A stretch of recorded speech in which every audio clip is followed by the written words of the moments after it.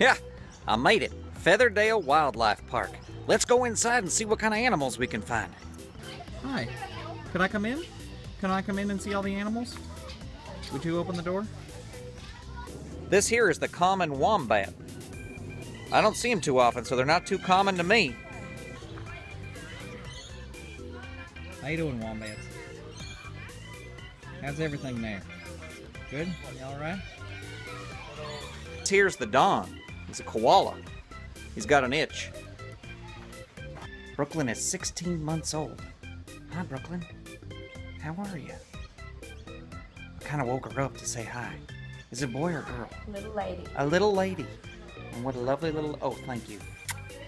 Got a little smooch there from Koala. This is my pal Walter Wallaby. He likes to look into cages a lot. Don't you, Walter? Yeah. How's that ice cream cone? Is that good? Who knew they liked ice cream cones? I guess everybody does, really. Could I have a little bit of that? No? Oh, I can't? Can I? Oh, all right. Guess not. Here's a tawny frog mouth. He's got a big mouth. It's like a frog. See, there it was. Did you see that? How you doing, buddy? He's a bird of few words. This is a diamond python. I'm a little nervous around snakes. This is an echidna. And I'm not kidding you, it really is. Brooklyn, it was nice to meet you. I hope you have sweet dreams. I think Brooklyn's out. Brooklyn is asleep. I think that's a peacock. Are you stop? Are you keeping the door? Are you, what are you doing? Are you keeping the door closed or open?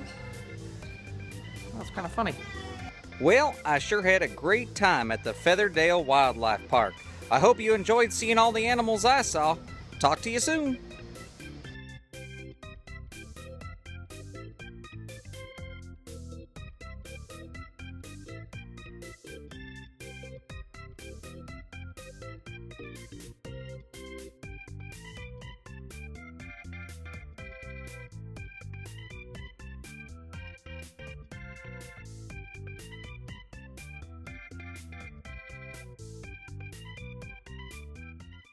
Stay tuned. We'll be right back.